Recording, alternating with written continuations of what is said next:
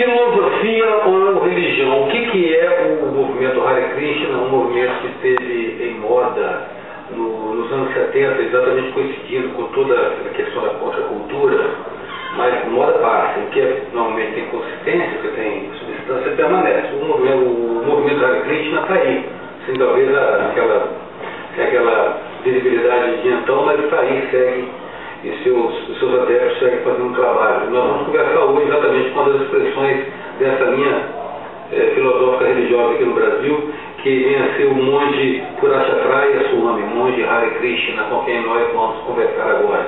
O mestre monge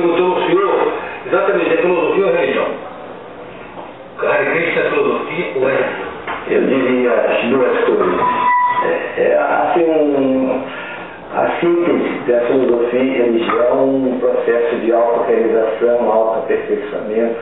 É como o nosso mestre sempre dizia, dois tri, o trilho do trem, quer dizer, tem os dois trilhos, e o trem só pode caminhar com esses dois trilhos, um é a filosofia e outro é a parte da espiritualidade.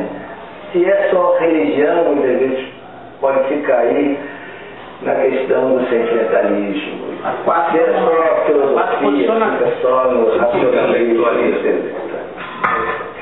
Então é um processo que isso é, tem que estar sempre, essas duas vertentes do conhecimento e da, da expressão humana, assim, tem que estar sempre juntas.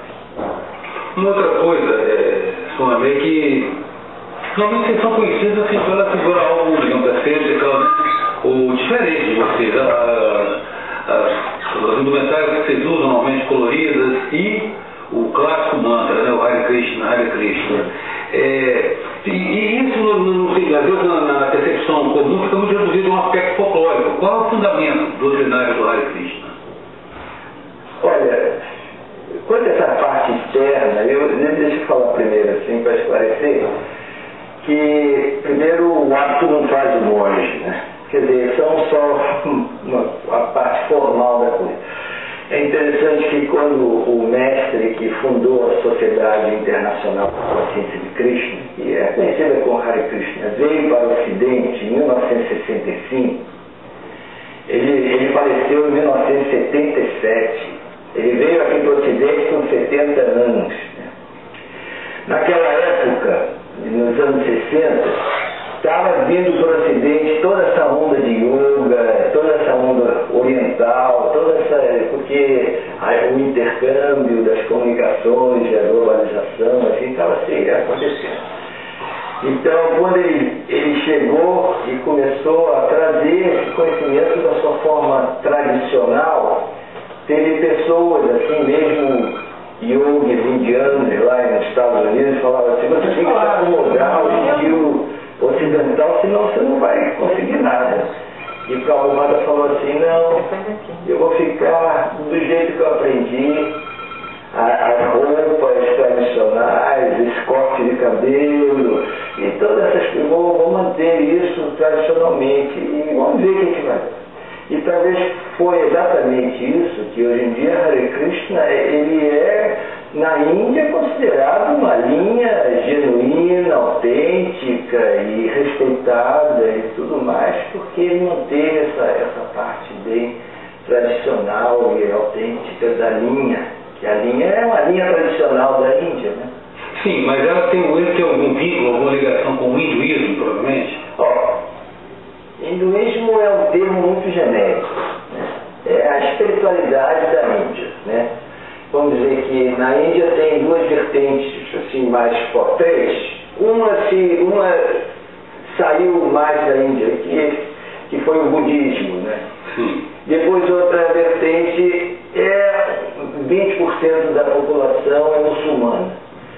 E, e, e, a grande maioria é o que se pode dizer dentro do hinduísmo, que é assim uma colcha de retalhos assim que abriga muitos tipos de expressão de espiritualidade, assim, tem aquelas religiões populares, tem as religiões assim das vilas e a, muitas divindades e, e, e, tem também a, essa a linha Vaishnava, qual o movimento Hare Krishna se insere, que é assim a, a linha monoteísta, assim, a filosofia vedanta teísta, é a linha Vaishnava. Ou seja, vocês, vocês nesse caso se reportam a, a convicção ou a crença de uma única divindade, ou de uma divindade maior. É, o, o Deus. O Deus. Como é que é o nome dele para vocês? O Deus. Porque Deus é um nome que a gente sabe que é uma convenção para poder designar uma força superior para as pessoas de compreensão até mais limitada. Deus. Deus é muito genérico também, né? Olha, é, de acordo com o conhecimento védico, né, Deus se manifesta de muitas formas diferentes, né? E a gente até amplia isso para diferentes revelações que surgem assim em diferentes culturas, diferentes tradições, como no Oriente Médio, a, o, o, judaísmo, o cristianismo, o, a, é mesmo a religião diferentes revelações. Né? Agora, em nossa linha particularmente, que nós seguimos esse famoso livro Bhagavad Gita. Bhagavad Gita é o livro mais famoso do, do, do, da literatura védica e no Bhagavad Gita, a, a divindade central, Deus é Krishna. Então, tem todo um esquema de devoção a Krishna. Né? E mais considerando que, que, que, Deus tem muitas manifestações. Assim, né? não, não, não, tem sentido falar o Deus da, dessa religião, o Deus da, outra religião. Não tem sentido.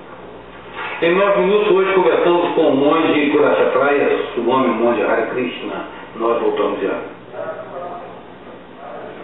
Hoje, Purushatraya, Swami monge Hare Krishna. Swami, você falou a respeito dessa percepção de Deus e, e dessa o, o, o, o, Bhagavad ele, ele é um efeito, ele é um pedaço do Mahabharata. O Mahabharata para vocês é o grande livro, na verdade, né?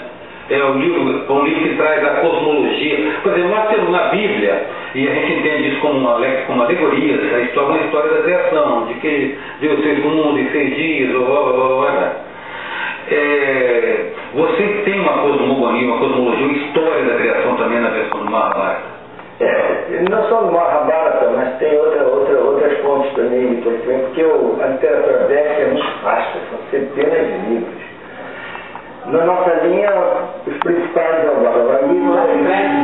Srimad Bhagavatam, que é Bhagavata Purana.